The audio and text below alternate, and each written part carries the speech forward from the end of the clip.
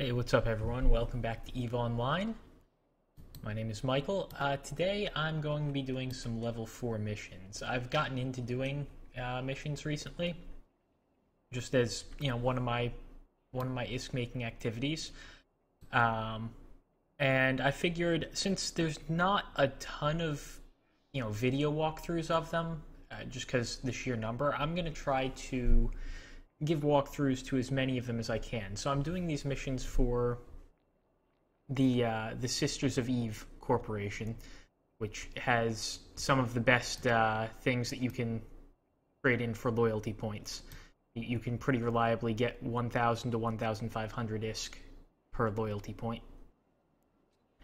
Um, and in this video, we're going to be doing the Recon mission series. It's three consecutive missions you get and they're actually really fast to do. The rewards are not great for them, um, but we don't even need to fire a shot to do these. So I'm going to accept this one. Its location is in system. And I'm going to show you the fit I'm using for this. I'm flying a Dominix. Uh, my skills for the Dominix are not actually that great. Um, I have medium railguns on this because, like I said, my skills aren't great and I don't have large railguns yet. I have two drone link augmenters, which will uh, increase the the range of my drones. Um, but all of these we're not going to use for this these missions because we're not going to be shooting anything. Rigs, I have some tank rigs that uh, give bonuses to kinetic and thermal damage for my armor. Um, I'm not sure those are the best rigs, but I already had them on this Dominix before I started fitting it for missions. On the mid slots, we have three cap rechargers, Tech 2, and a large cap battery. Uh, and then we have a 500 MN micro warp drive, which that is going to be very important for these missions. Uh, and then down here in the bottom slots, we have four drone link or drone damage amplifiers. Uh, that's actually a Tech One. I should probably upgrade that when I can. I for some reason, I thought I had a Tech 2 there. Well, that's to do later. Uh, I have a damage control. I have a reactive armor hardener. And I have a large armor rep. And I found that this fit tends to uh, tends to be able to handle pretty much all of the missions I've found. Um, it doesn't specialize in any one thing, but that's good because this mission, you know, being able to shoot things for a lot of DPS doesn't really help. So, and over here in the drone bay, we've got uh, six or, you know, a wing of five bouncers. Those are sentry drones. Um, they have sentry drones honestly have more variation than any other drone type. We can go into show info here, and I'll show you what I mean. Um, the optimal range of this, once my bonuses are applied, is 44.1 kilometers, and fall off is another 45 past then. So up until, honestly, the range I can lock at, uh, and my drone control range, which is 75, I still have pretty good accuracy on these. On the other hand, the guards, the Gallente sentry drones, have an 18 kilometer optimal range. Um, now, I guess this is I do have a pretty significant bonus to this, with uh, you know the the base is thirty, but even still with with guards, uh, it's eighteen. You figure I get an extra fifty percent from that. It would only be at twenty seven, uh, and that is not far enough for my purposes here. So I went. I opted for drones with longer range, slightly worse tracking, and a little bit lower damage because I want to be able to hit things from very far away. Uh, less important are all the other drones, but they still have their uses. Um, I have four Federation Navy Ogres and a Praetor. Um, I had a wing of five Federation Navy Ogres, but I lost one of them because I was not paying attention and didn't recall it in time. And then I have hobgoblins for my light drones. Those are going to be the most important besides the sentries because the sentries, once they get under your guns, like the fast frigate type enemies will be able to do, uh, we really want something with, with excellent tracking speed to be able to hit those. In the inventory, I'm using antimatter charges, and then you'll notice I have three mobile tractor units. Those will not be useful in the mission we're running, but in subsequent videos, I can show you what I do with those. Uh, I just drop one in every single room and then come back later in my salvage ship, which is a Noctis. So let's undock and get to doing this mission. We're, we're going to run all three of them today. It shouldn't take very long. we're going to warp the encounter. Warp drive active.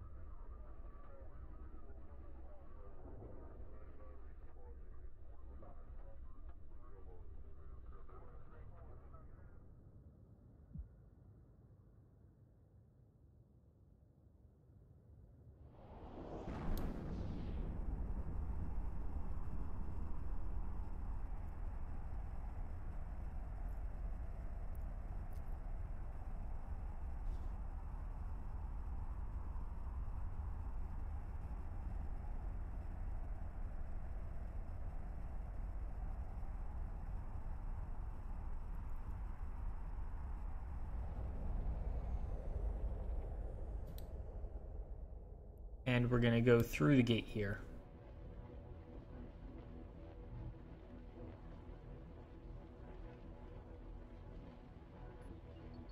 Now on the warp in, there's going to be, I believe, some enemies right away, but there will also be an acceleration gate. All we have to do is go through the gate. We don't need to kill any of the enemies, and so to do this quickly, we are just going to turn on our micro warp and burn straight to the gate and jump through. And that is going to be a recurring theme with this with this series of missions.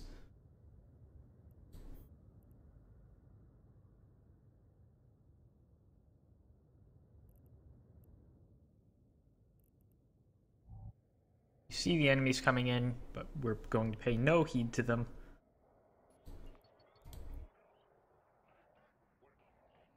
Switching on our micro warp and burning.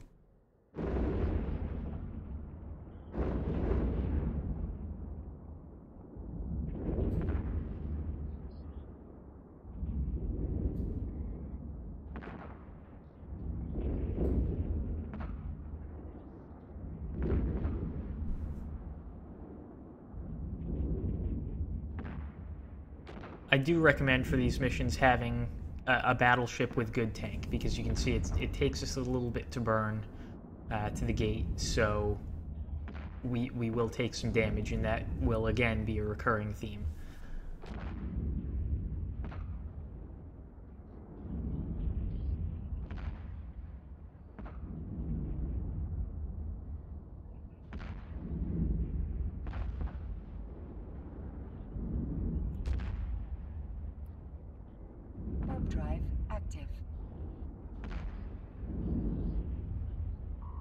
can see the gate is not locked. All we have to do is warp. Uh, more and more enemies will warp in, so if you start fighting here, you really want to make sure you can win the fight. I don't know if I could, which is one of the reasons why I'm just doing this the fast way. The bounties are pretty good on the enemies. You see both battleships are worth over a mil, but we, we don't care about that. You turn on the armor hardeners, repair. And we'll get into warp in just a second here, and that'll be the mission. There we go. I believe there will be enemies in the second room as well. But we're going to, as soon as we land, complete said mission. There we go. Mission complete.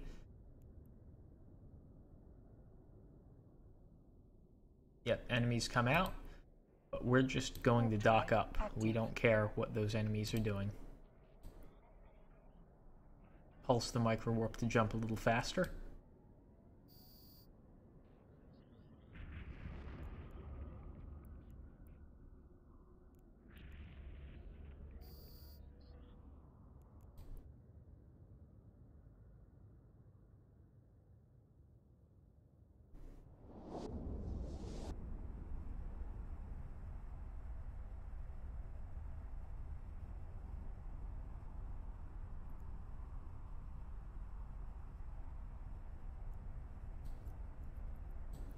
You can see from this we're going to get about a million ISK and 1,800 loyalty points, which is probably another two, two and a half million ISK.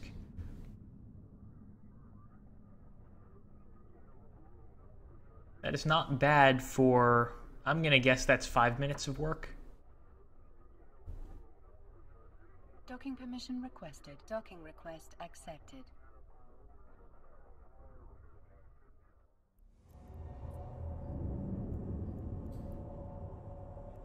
Complete mission. And then the next one we get will be Recon 2 of 3. So we're going to accept this as well. The reward is a little lower, but it is just as easy.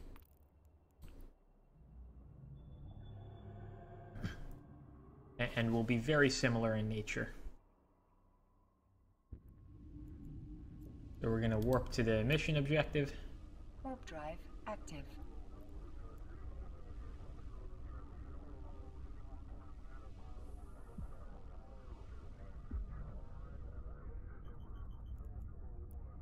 I'm just going to see how long this entire series takes. We we turned that in at 32 minutes, um, 1732. So I'm going to say that first one took five minutes ish, and we'll see what time we finish the third one and how much ISK that was.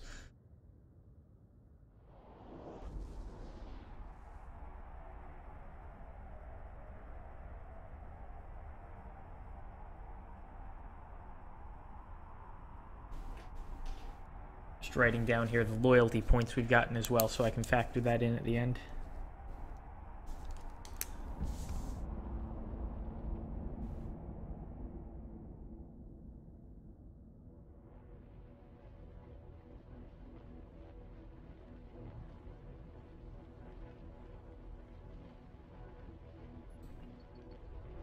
Warp drive active.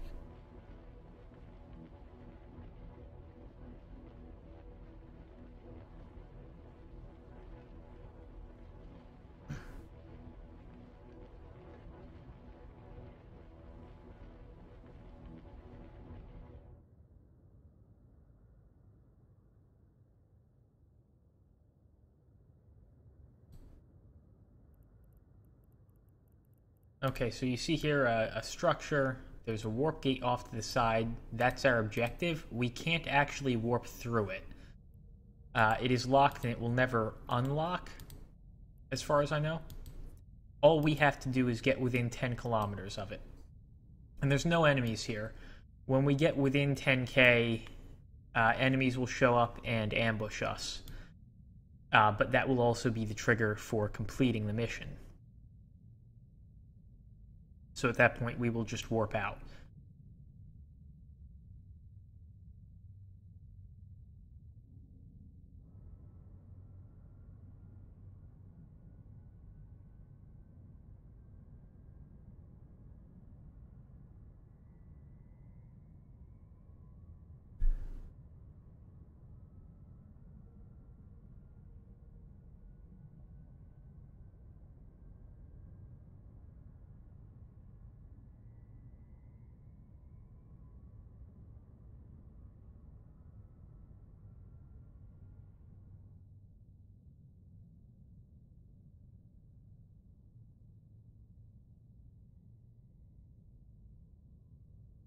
That is a really cool looking structure.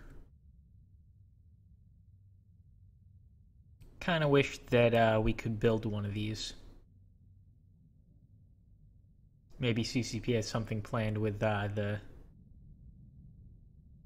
the upcoming drilling platforms.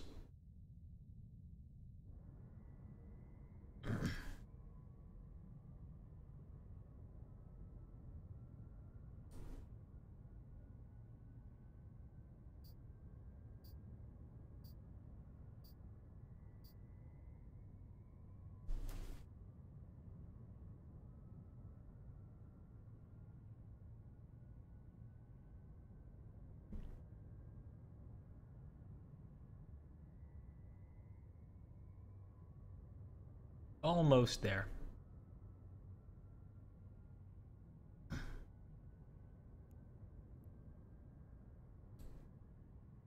And now the ambushes warp in. You get one group over there and then one group close to the gate. And we've completed the mission, so we're going to dock up. Drive active.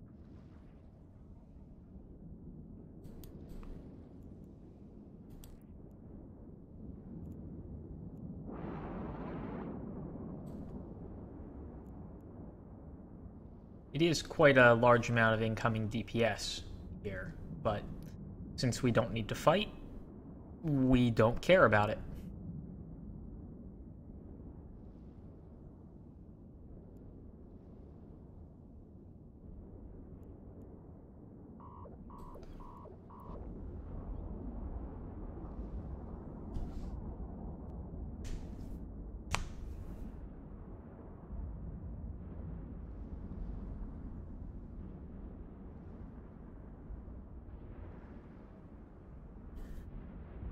In, a big bulky ship like a Dominix, the warps, you know, when when you were burning at a high velocity, it can take quite a while to warp because you have to cancel out that inertia.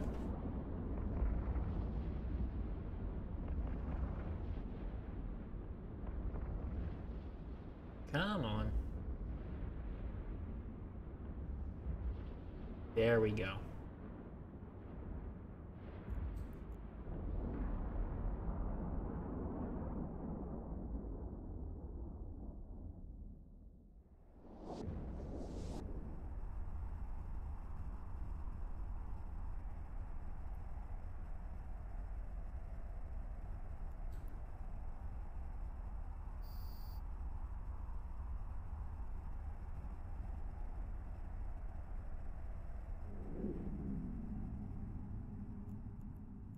So second mission done, we can see that took about six minutes.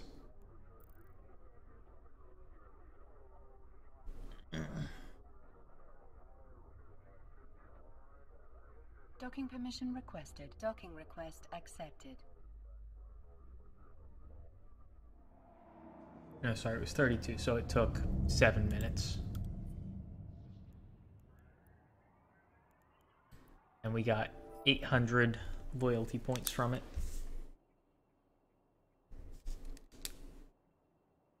And about half a million ISK. So the last one has the lowest reward, but it is still just as easy. Um, this one, your your tank actually matters a little bit, but we move fast enough that you'll see it. It won't be hard. Warp drive active.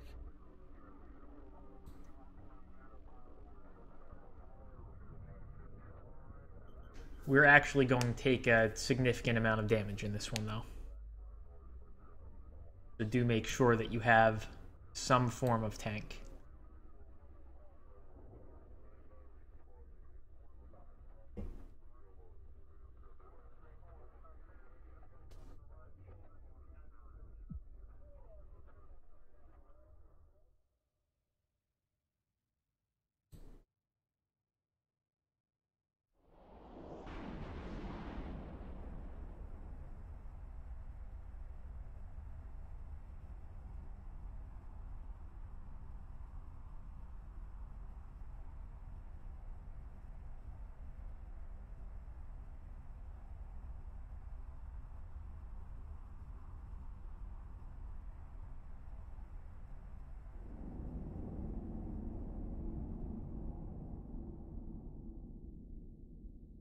So we warp in to this pocket. there's, there's no actual entry acceleration gate. Uh, our target is this acceleration gate. We have to jump through it, but there's explosive gas in our way, um, and that is going to. do. You can see here, uh, it, it's going to hit us for all four types of damage. Now it's not it's going to take a break between each wave of damage, but also each wave will hit harder than the last. So if you just sit around here, you'll start getting hit for really crazy amounts of damage and possibly die. Uh, there is a final wave that if you survive it, then the damage will stop and you can just fly up and jump through the gate, but by far the most effective way is to burn to the gate and jump well before that final that final wave of damage.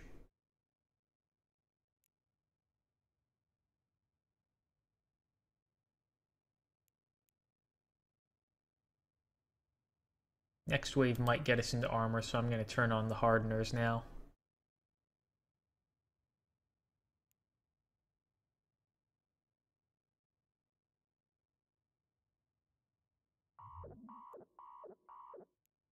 Yeah, a little bit of armor damage there.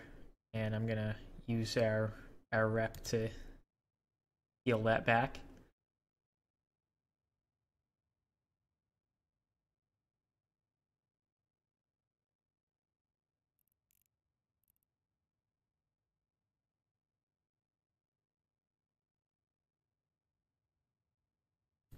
Probably going to get hit one more time here.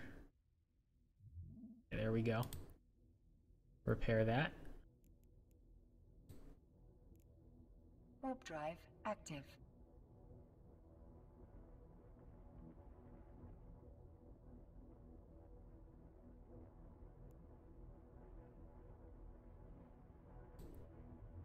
Oh, okay, one more hit past that.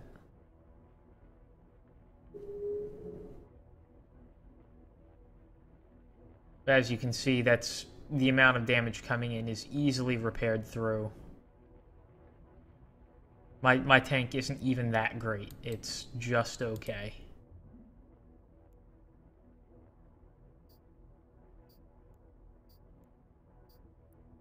As long as we don't just sit around here for, you know, three, three to four minutes, we're fine.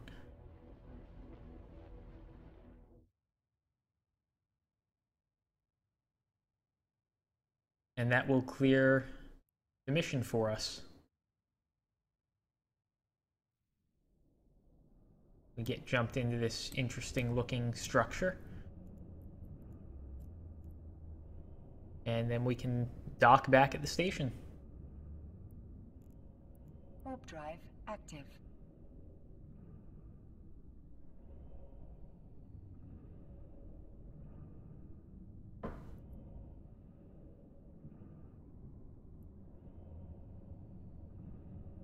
See, this will have taken another six minutes. So we'll say each one took six minutes, and we'll add two to get to 20, just because that's easily divisible in, into like an hour.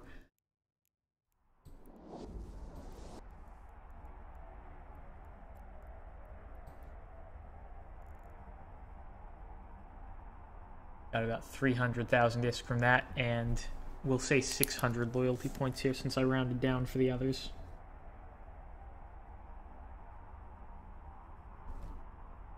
Just doing some uh, back of the napkin math here. We got 3,200 loyalty points. Uh, we'll make a very conservative estimate and say 1,000 ISK per loyalty point. We should be able to get well over that, but that's really the worst we might get with Sisters of Eve missions. So that's 3.2 mil ISK from loyalty points and a further almost 2 mil from mission rewards. We'll, we'll say 5 million ISK or 20 minutes of work. 15 mil per hour is not great, but is still better than you might get uh, mining. It's it's definitely nothing to sneeze at. And these are some of the the low end reward missions. Uh, I will be making other videos for other missions. But for now, uh, this is where we part ways. Uh, I hope you enjoyed the video. I hope that if you have gotten this mission yourself and uh, are thinking of running them, that it informs what fit you use um, and what uh, what ship, what hull you choose to use for it. I think any battleship with a decent tank and a micro warp should be able to to do these no problem. Uh, you don't really need exceptional skills. So, good luck, fly safe, and as always, uh, good hunting. Later, y'all.